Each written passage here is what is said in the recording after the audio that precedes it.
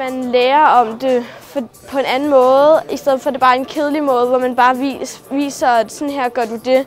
Man får rigtig prøvet det. Det er ligesom en virkelighed, man får prøvet det, i stedet for bare at få læst det højt.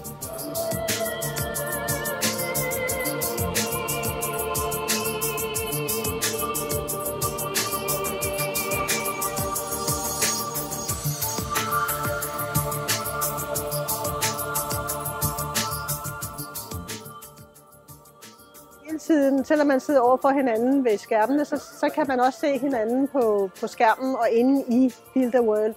Så man kan på den måde hvad hedder det, trække på hinandens øh, kompetencer, som man nu har aftalt, at man skal bidrage med noget grupper, forskelligt. så gik vi direkte ud og begyndte allerede at lave tutorials, og nu arbejder vi sammen med igen at lave transport og strøm. Det arbejder vi sammen med hele tiden. Så vi arbejder hele, sammen, hele tiden sammen med de her hold, vi er i.